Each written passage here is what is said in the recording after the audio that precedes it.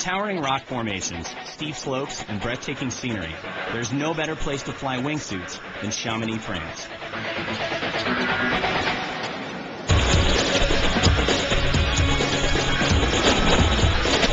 There's only a couple places in the world that really are conducive to flying down big slopes. We're going really fast and we still need a lot of room to open our parachutes.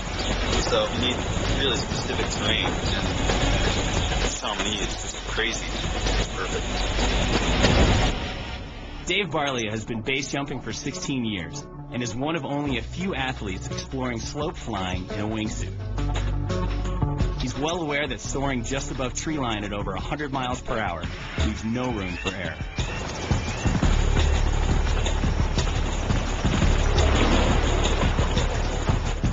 When we're flying, it's so sensitive that how the conditions have to be. I mean, there almost has to be like zero wind for us to do anything because any kind of wind creates all kinds of turbulence that you don't know about, and that kind of turbulence is just will kill you.